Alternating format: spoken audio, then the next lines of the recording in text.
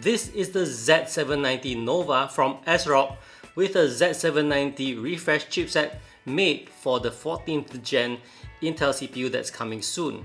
Now being a beautiful board itself is one of the 7 reasons why you should consider this motherboard and then in this video I will also highlight 3 improvements I can think of for this motherboard.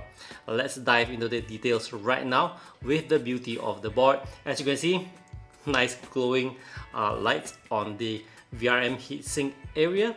And then there's RGB LED at the bottom of the M.2 heatsinks. And the overall design is pretty nice. Plain simple black color. Point number two of why you should consider this board is that now this model being the first among ASRock board to have a toolless M.2 cover but it's not toolless for all M.2 covers. The M.2 heatsink that has a toolless feature will be the one for the PCIe Gen 5 and all you have to do to unlock the heatsink is press the latch and you can open it up. Now if you've seen my um, posts over Twitter and such, I've complained about M.2 heatsinks that are difficult to um, secure. This is the one that settles the problem. All you have to do is hook it and press it in and once it latches, it's on to the motherboard. And speaking of M.2, there are a whole lot of M.2 slots on this motherboard. There's one two three four five six six. And you can look at this. I recorded this and it took me a while to find six m.2 drives to mount on this one. I have a few high capacity ones but they are with heat sinks so I cannot use on this one. And then my other systems they have M.2 drives but I wouldn't be wanting to remove them to install it. So yes I do have a stockpile of M.2 drives. So yes a whole lot of M.2 drives that you can mount on this one. So what's the benefit of all that? After all it's one PCIe Gen 5 and the rest are all Gen 4s well gone are the days where we need to rely on three and a half inch drives and whatever with SATA data cables and SATA power cords. Now you can have all six drives on the, the motherboard, which is neat. No more cables, just cover it. Yeah, cover it with all the heat sinks. You don't even see the drives. You just have a neat looking system that accommodates those drives. Up next, we have the VRM cooling. Now it has a 20 plus 1 plus 1 VR, um, this uh, power, power phase and well, it's still lesser than Taichi and Taichi Lite which is 24 plus something plus something but I still like this uh, this uh, board design.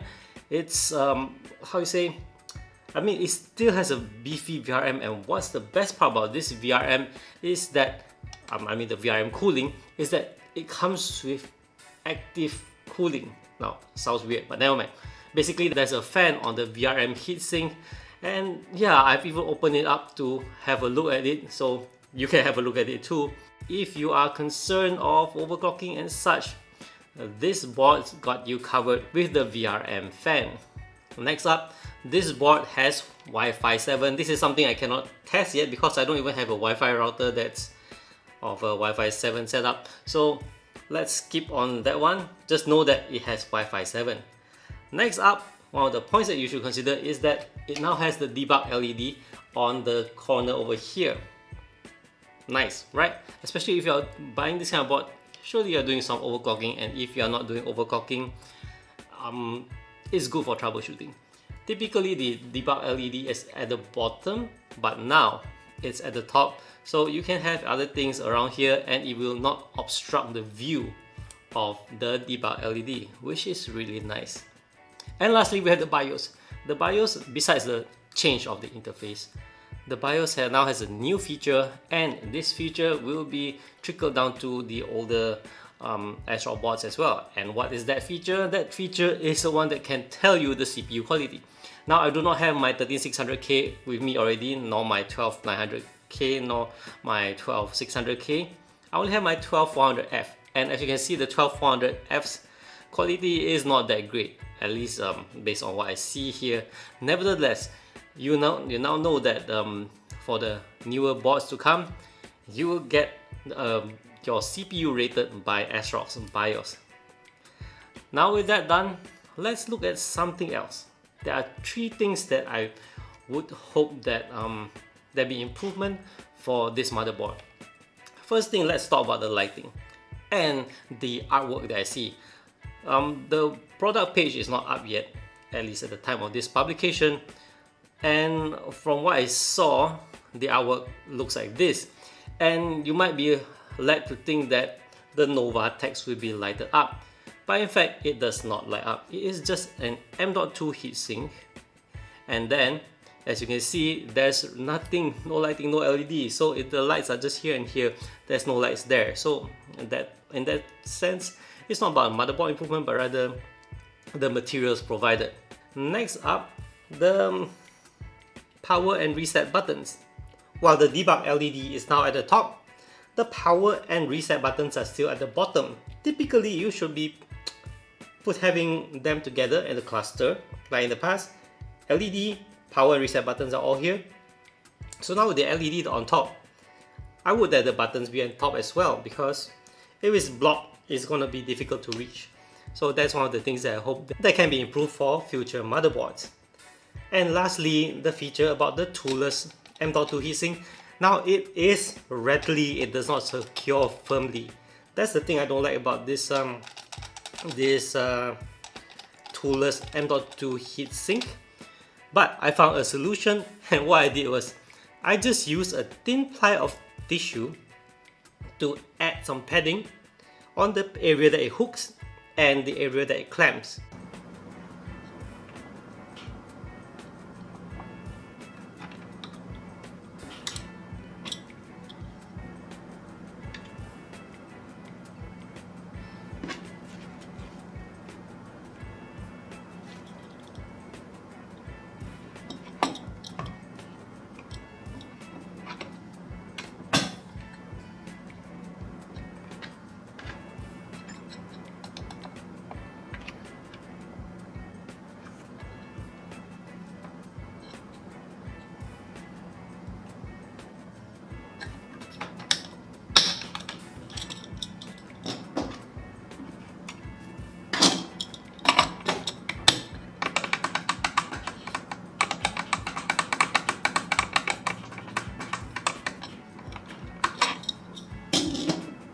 So with that, I hope ASRock will do something about that. At least then we will not have a heatsink that is wobbly. Definitely one that is secure would be nice, especially we are paying good price for a motherboard like this. Would be good to have something that does not rattle.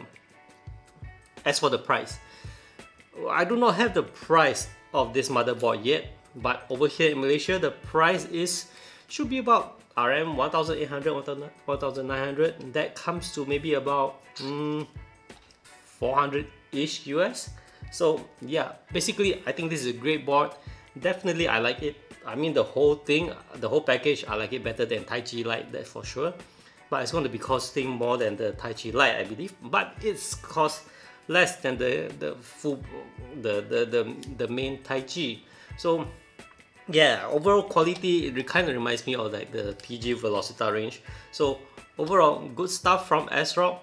Um no 14th gen CPU to test it on yet but definitely I like this motherboard and I hope you like it too. That's all for this one. Thanks for watching guys and I'll see you in the next one.